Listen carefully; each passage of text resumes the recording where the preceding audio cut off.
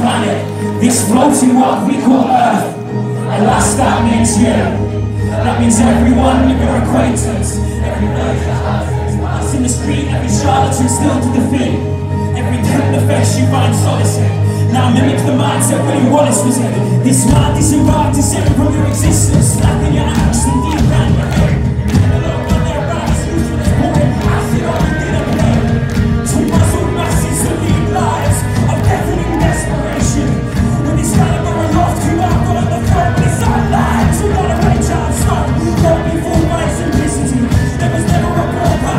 in such urgency.